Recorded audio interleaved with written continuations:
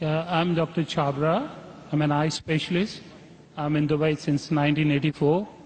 I had a chance to listen Dr. Zakir a few times, and it's always fun to listen him every time. It's so informative, so educative, so eye-opener, and I always enjoy asking him some questions. So I'm lucky to be the first to ask him the question. My first question is, you said the holy place is in the center so that it is equal from everywhere. But to my mind, I may be wrong or right, the God is all prevailing, omnipotent, omnipresent, omnivorous. Then he need not to be present in one place. He is everywhere. A non-Muslim brother asked a good question, and he enjoys hearing my talk, he enjoys asking questions. And I enjoy answering your question, brother. He asked the question that God is omnipotent, omnipresent, so why should he be in the center? Brother, when you heard my answer, I think you misunderstood. I never said God is present in the center. I didn't say that. I said the Kaaba is in the center, not God. Kaaba is the Qibla, the direction. And the Kaaba is only direction for unity. When we worship Almighty God, we face in one direction for unity. Not that God is only there. Quran clearly says in Surah Baqarah chapter 2 verse 177, it is not righteousness that you turn your face to the east and west. It is righteousness that you believe in Allah. So you misunderstood. Kaaba is the Qibla, direction. So for unity, they have kept the direction in the center. God is not in the center. God is on the arsh. He's on the throne. What we realize that for unity, we have to face in one direction. So the Kaaba for unity has been kept in the center. So all the different people, different human beings from different parts of the world can face for unity in one direction because we believe when we offer prayers in Salah, we believe in congregation, believe in unity. Hope that answers the question, brother. I have a very simple question.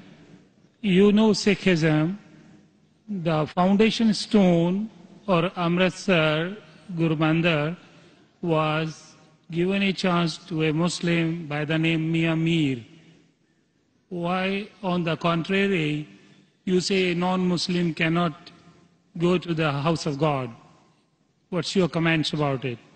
Brother how am I? I said, Alhamdulillah, I'm fine. Am I tired? I never get tired of answering questions to non-Muslims. I never get tired. You're I very kind. I have my flight tomorrow, 11 o'clock morning. You're Fine. very kind. So for me, no problem. I love it. The more you ask questions, the more energy I get. You ask the question that a Muslim laid the foundation of Amritsar. Then Golden why? temple, yeah. Sorry?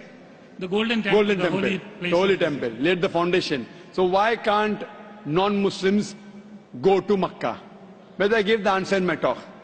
If, if someone has permitted, maybe Amritsar is not a place of sanctuary. It's not a cantonment area. Makkah and Medina is a cantonment area. You can go to any other mosque. If you want to go to the mosque of Dubai, I will take you. Brother, It's the most You want to come to the- Sikh religion, Amritsar, Golden Temple. I know that. I know that very well, brother. But it may not be as sacred as our Makkah and Medina. If you want to go to any other mosque, you're most welcome, I will take you. But these two mosques, as I mentioned in my answer, they are the cantonment area and you require a visa. The visa to go to Makkah and Medina, these two mosques is to say with your tongue, La ilaha illallah, Muhammad Rasulullah. There is no God but Allah and Prophet Muhammad is the messenger of Allah. If you don't get visa, you cannot go there. If I recite those verses, can I go there? Yes, if you recite and you believe, you can, no one can stop you. That's no problem. So you want to recite those verses? To go there or because you believe in it? I did hear you re- repeated these verses with other people. I did hear, and So do you believe in it? oh, it's easy to repeat. No, no, do you repeat? Do you believe in it? It's, it's a fact. It's there is a fact, and the fact should be believed. So do you believe that there's one God? There is. Do I you- believe in it And do you believe that Prophet Muhammad is a messenger of God? by without any doubts. Yes. So He is the person who- prophet. Yes. So a person who believes there's no God but Allah and Prophet Muhammad is a messenger is a Muslim. So if you say this and you believe that no one can stop you to go to Makkah and Medina. I am principally I am a true Muslim because I surrendered to the will of the God. MashaAllah. So would you like to say it in Arabic? Congratulations, brother. Would you like to repeat it in Arabic, brother? Would you like to repeat in Arabic? I don't mind. Okay. Ashadu Ashadu Allah anna ilaha ilaha illallah illallah wa ashadu wa ashadu anna anna Muhammadan Muhammadan abduhu abdu wa rasuluhu. wa rasul.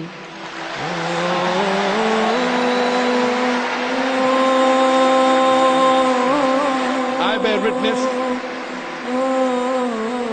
I bear witness. I'm saying in English the translation. I bear witness, I bear witness bear witness that there is no God that there is no God but Allah but Allah and Prophet Muhammad and Prophet Muhammad is is the messenger is the messenger and servant of Allah. and The servant of Allah. servant of Allah. MashaAllah. MashaAllah. Brother, may Allah reward you. We welcome you to the fold of the religion of peace. And inshallah, when you want to go to Makkah and Medina, please let me know. I will sponsor your trip. Thank you very much. Thank you very much. God bless you. Inshallah. I like your spirit. I like yourself. God bless you. Keep spreading this message. People need it. World need it. World needs a peace. World needs the peace leaders like you. My blessings with you. My good wishes with you.